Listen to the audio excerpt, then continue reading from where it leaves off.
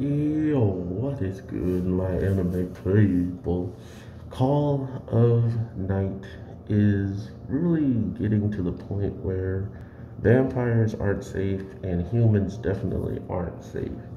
Um, and it felt like vampires were just these cool girls who are chilling, doing their own thing, until we run into the guy last week and it tells us that he wanted to stay as a human. He didn't mean to fall in love or when he did fall in love, he didn't know that he was falling for such a evil person that would, uh, I guess, turn him into what he became, or maybe he knew he would become that, but once he did, she abandoned him. I don't honestly know what happened, but we do have information that even our main vampire girl has been alive for at least a decade when it comes down to being a vampire. So technically, a decade, she could have been the one that made that guy fall in love, and he never wanted to. And you know, she's been in hiding, kind of.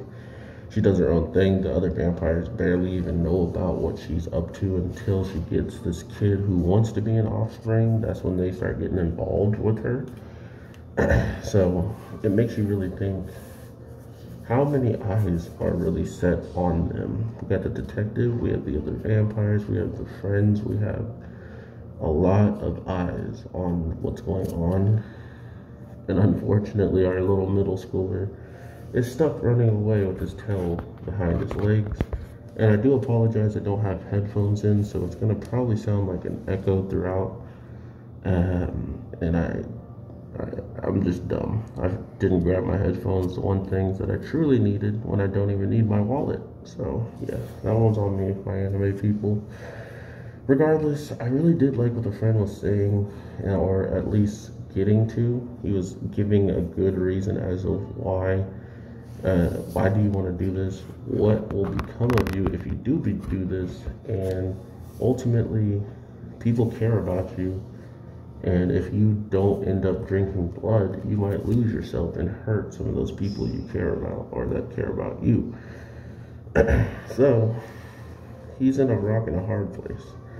He has only one girl who's a vampire who's kind of supporting the side of vampires, while every single human is supporting humans. The detective, his friends, all are aiming more towards him staying human, and the one person that is a vampire is almost telling him as well that he might be better off that way as a human as with them, you know? So I hate that there's a freaking glider and it's just not going to go away. So it is what it is, I guess.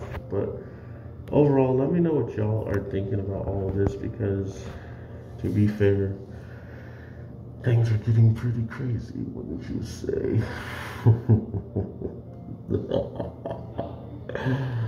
I can't wait to see the season finale of Call of Night, and I hope y'all are ready for that. Drop a like, subscribe if you are enjoying it. If not, still drop a like and subscribe because I will enjoy it. so yeah, write a comment if there's anything else I didn't go over because there's a lot happening. And I hope y'all truly do come back for the season finale and for more after this anime because I'll be doing that daily still. Take care. Peace.